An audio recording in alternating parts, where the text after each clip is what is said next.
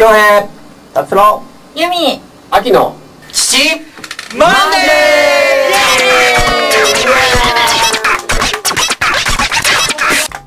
ー！はいあーしんど。18回。しんどってなんししんどいね俺ね。ちょっと。朝コーヒー飲まんとやってられへんのよ俺は。ね。はい。もう朝じゃないですけどね,、はい、ね。ということで18回やってきました。ゲストを紹介してください。ゲストはカリスマブロガーのマナチです。イエーイ。今ここにこうバーってこう書いてあるからね。ね。はい。なんか調子悪いな。寝起きでね本当辛いんですよ。最近はねもう。点滴打ってまた書いて点滴打ってまた書いてみたいな、おうるさいけど。うん、そんなことはしてません。ね。健康健康はい。ほんで今日はどんな話を？そうですね。ちょっとまあ今までちょっと仕事の話とかがメインだったあんでプライベートの方の話とかね。あそれはとかその女の子でしたらねいろいろあると思うんで。秘密の？秘密の。記事秘密の？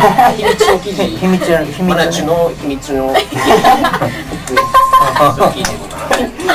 と思ってますけど。ねね。なんか普通にモテるでしょ？モテなくて。え？本当にモテなくて。え？いやいやいやいや。モテへんわけがないな。持ってるわけが。ないモテないというかねマナチはあの自分の好きになる人と好きになってくれる人が違うねん。そこでガチせえへんっていうパターンちゃう？だから多分いやモテないないたことあるもんいっぱいモテへんもまあそこで話されてもうモテない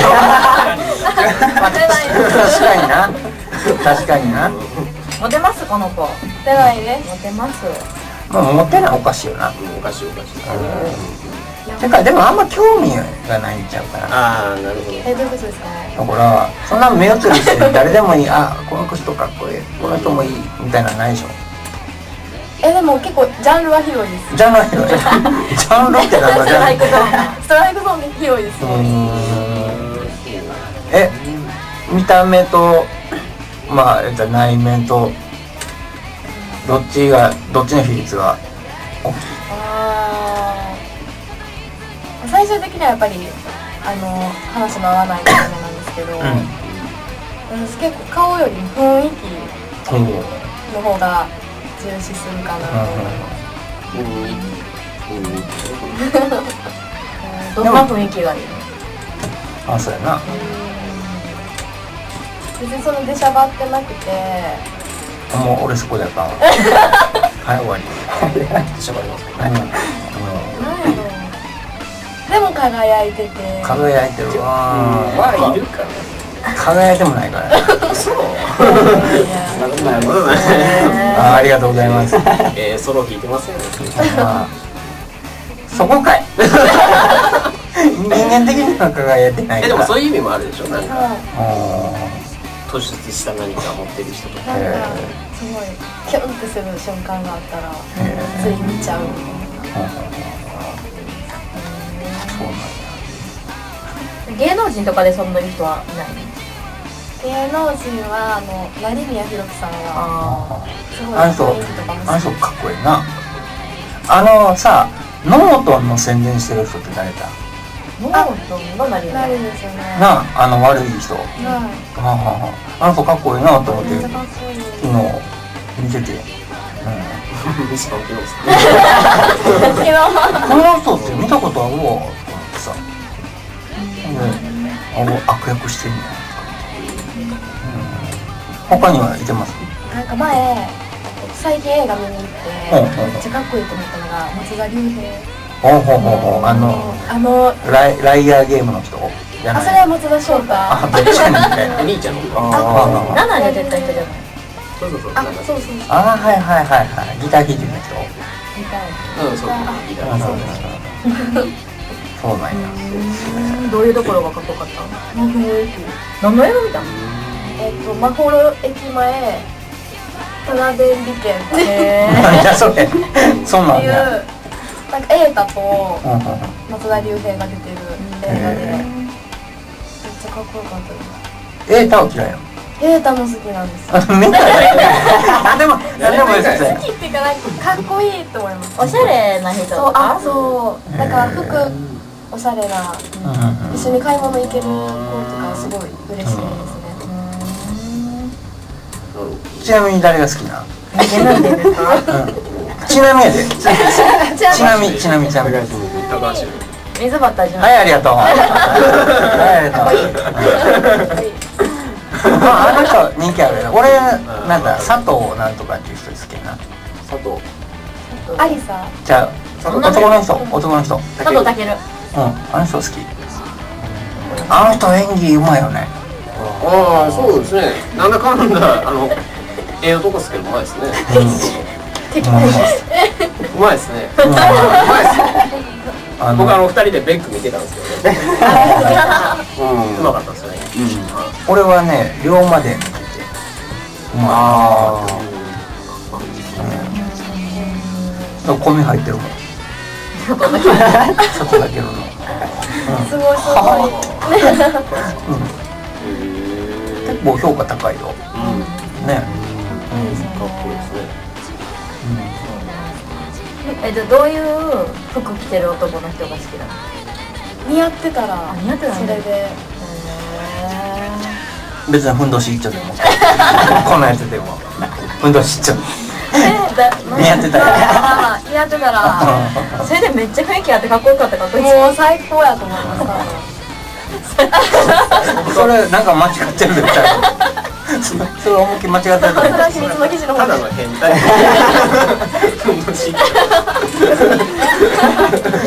う なんかかなりやばいよ素敵って何やなまず変変って思わんとあかんと思うけどな。なるほどね。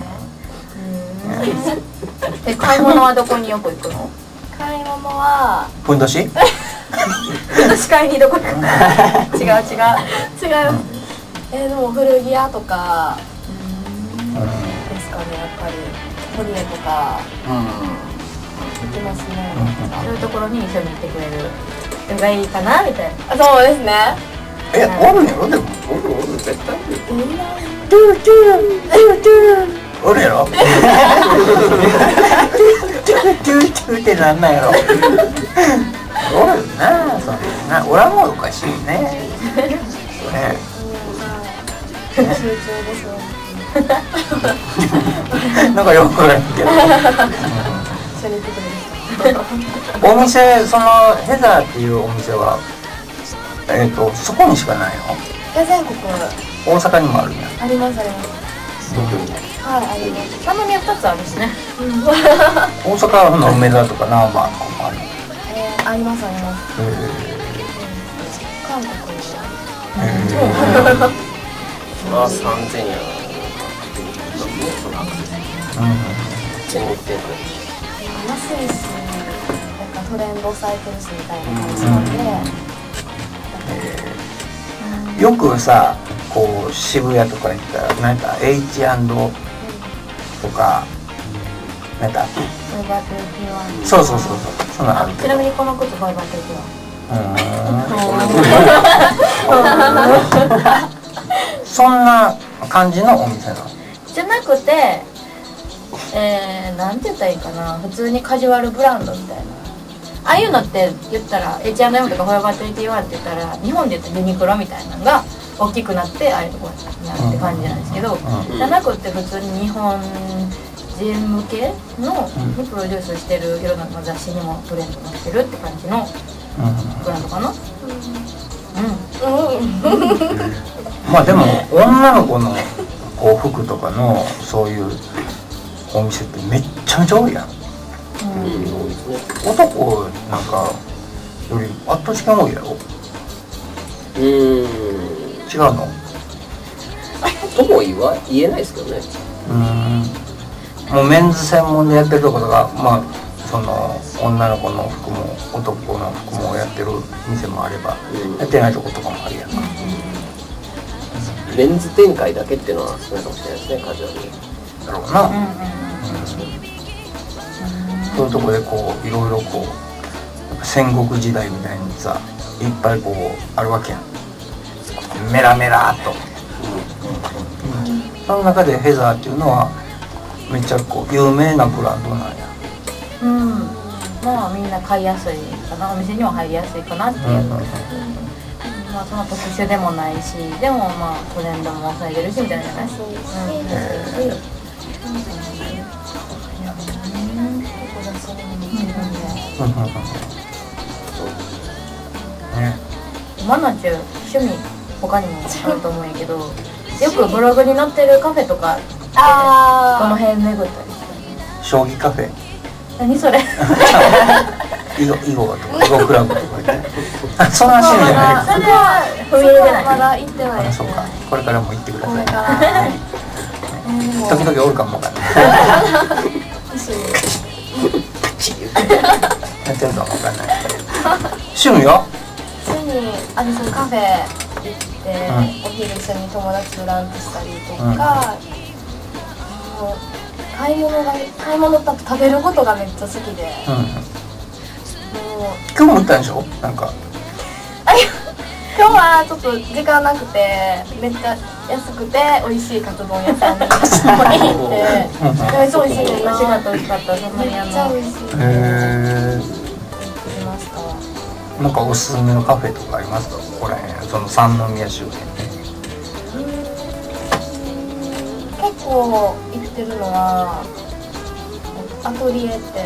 アトリエ？いうなんかデザインカフェオレへが有名ですごい凝ってるんですけど。えそういうのも行ってたりとか。はここだったらフォアレストのうん。花園カフェとかドメインにあったお店とかはすごい好きですねよくマナチとコナナに行ってたあコナナ？コナナ。っていう和風のパスタ屋さんがあってパスタむっちゃ好きでそこも全制覇するぐらい行ってました。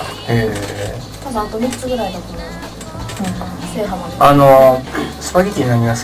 うん。スパゲティ。言うの方がもうさもういやパスタ言うてくださいいやスパゲティ スパゲティ麺。洋風麺。何？ですかねなんでしょうペペロンチーノ。ペペロンチーノ。ちょっとお酒に合うやつペペロンチーノ。何好き？えー、でもカルボナーラ意外と。あ何好き？私ジェノベーゼが大好き。何それ？それえ知らないですか？あのバジルのバジル刻んだソース。それバジリコちゃん ジェノベーゼですよ。大葉のジェノベーゼ。花園カフェになるようんねめっちゃ美味しい、え何好き？私だと和風系のやつがめっちキゃ好き。ノコとかいっぱい入ってるやつ。なんかそう味噌とかあるんですよ。味噌？なんか粉の味噌とか豆乳とか豆乳のカルボナーラ美味しいよね。へえ俺ミートソース。かわいい。王道やもん。そうでここら辺に必ずなんかついてるやん またそんな白いの着てそうそう。言われてね。あっちゃーあっちゃあっちゃ汚い本ついてるみたいな当。いくつになっても変わらない。昔ながらの。そうそう。それ。ただ汚いだけだ確かに。ところであのね服の話もあれやけどさっきのあの恋の話で。おうまだちょっと聞いてないこおおなんかあるんですか？と、うん、あんま別別に特にはないんやけど あのねあの恋の話っていつぐらいこう初恋でずっといつもいつも聞いててああ前回前々回ですね。はまあいあれ？今のはね 今の話じゃなくてあの初恋の話やったらこうちょっと言いやすいかな初恋って何歳？うん初恋？初彼じゃなくて。どっちでもいい？けあー全部興味あった そうなって言うの。どうん秘密秘密中のマナチュで。マナチュうん。初恋は5歳。5歳？そう覚えてんなでも。でもなんかめっちゃ覚えてるんですよ。その人がめっちゃ気になって気になってみたいそれはちな。みに誰なんですかな幼稚園の時の同じクラスの男の子。で。ででも小学校が離れちゃったんで今何してるかも全然知らないんで、こんなこと言っていいの？めっちゃ恥ずかしいけど。うん。そうです。そうです。えー。もうなんかこうアプローチ自分からしたりしてしてた？幼稚園なんで、うん。あかっこいい子やなぐらいでうんうんうんうん思ってましたわ。えー、龍太郎くんは元気してんの？知りません。知らない私めっちゃ聞い好きやった人。あもうみんなに聞きまくってるからね。名前出したか。らあかわいそう。にあかわいそう。探しましょうか。ゆうたろう。そうやね。菊池先生も探さなかっそうですね。感動の再会でお願いします今度。はなんか情報があればねここに。ね本当にた尋ね人 情報があってね。ね。そんな感じで。で初恋はいつできた初カレは高3です。あそうなんおおそうやったんかい。高3です。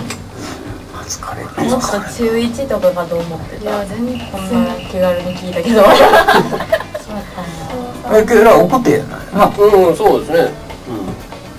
いやでもそれまでずっと片思いは撃沈なんで。ビキチンなんで？なんで？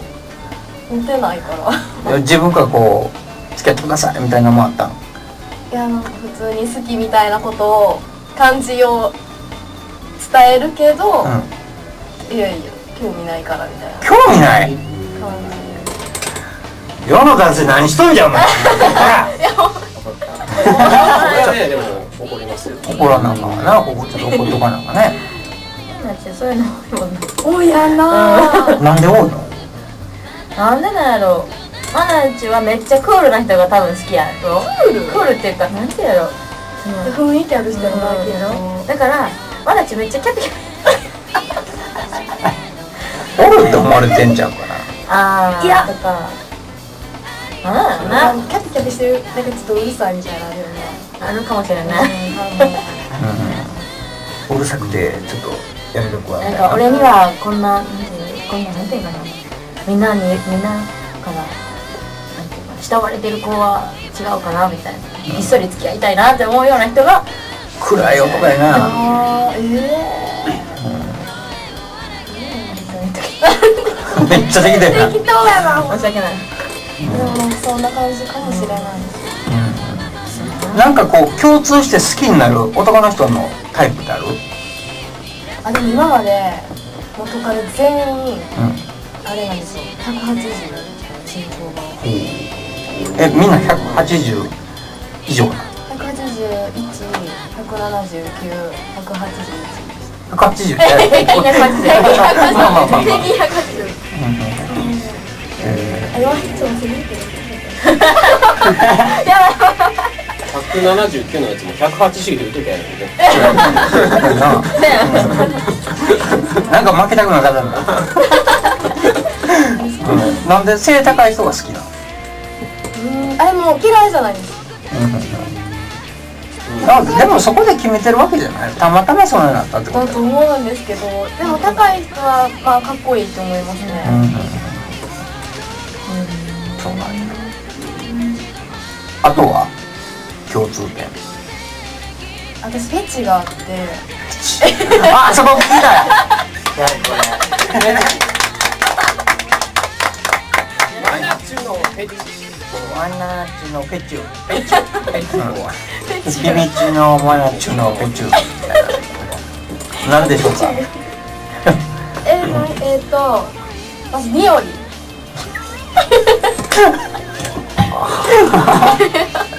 匂いな？おもろいとこ来たな。ニオリは大もうカビ臭い匂いどどんなねえなんか回収もやけどその、まあ、香水も含めそのはいまあなんていうんですか柔軟剤とか。なんでちょっとたまに汗臭いのも好きです。あ今日汗臭いみたいな。物言より嬉しい今汗臭いで嬉しがった ややばいなそれ。ちょっと変態結構な結構な。やめてくださいやめてください。ダメですダメです変態とかダメです三年二組見てるいほんまにほんまにあとは声ですね声うんどんな声が好きなのえどんな声こんな声あれストレートグラムハロープロ端くれみたいなこと言ってますあれ面白かったな。ねねえあれ。12回見てた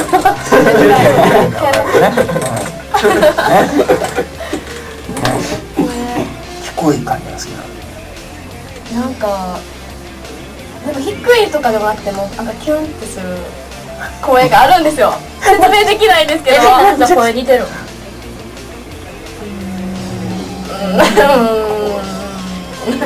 これ喋り方とかどうなのなあでも喋ってて思ったのがめっちゃ声いいですええな俺らもええねんで俺らもええねんなんかわかります？なんか低くないけど、なんていうんですかね。へ興味なしえもあとはあとは匂いが良ければいい。大丈夫かな？今日汗臭いかも。今日は嬉しい。嬉しい。まだ中嬉しい。嬉しいえー、ほらえその匂いがきつい人が好きなの？いやきついとかじゃなくてなんかあこの人いい匂いあーってなる接近してるのかなすごいこだわりがあるみたいで。たまになんかトイレ行くわとかで立った時とか匂いじゃないですか。あファンと。残りがみたいな。それ漏らしてる。漏らしてる今のはちょっといやうん受けました。椅子から離れちょちょあれあれ地図がなんか残ってるあれアメリカ大陸がダメ自慢でらしくなりましたねちょっと。そうね。今の10秒で今のでちょっとなんかこう健康に戻ったみたいな。はいということでねもうあのー番組ももうそろそろ終わりの時間になってきたんですけどはいプレゼントがねプレゼントが。先週も言うたと思うんですけどこれはプリクラ。うん。いいですね。マナチの撮ってきましたよ。うん。マナチュでもな俺思うにね実際の方が可愛い。あおそうそうそう。俺も俺も思ったほん。まですか全然可愛い。結構下げれたってプリクラちょっと下げれてうまいこと言ったやんって言ってたのに。うん。だから店に行ってもらったのかな、そうそうそうそうほんまですか可愛いよ、何でも可愛いなこれをね、えー、とりあえずえーと記念日プリクラをしてきたのでこれ半分に切ってサイン入りで2人2名様にプレゼントします応募方法はこちらにメールを送っていただければ大丈夫なので。こっちね。ね。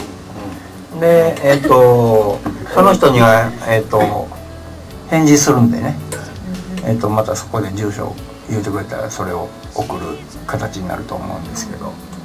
そんな感じでよろしいでしょうか？はいそんな感じです。はい、ほな、えっ、と、バッシュのライブのインフォメーションよろしくお願いします。ライブインフォメーション6月2526に東京に行ってきてえー、と25日は新宿フ新宿ライブフリークで26日は吉祥寺シャッフルでやりますのではい。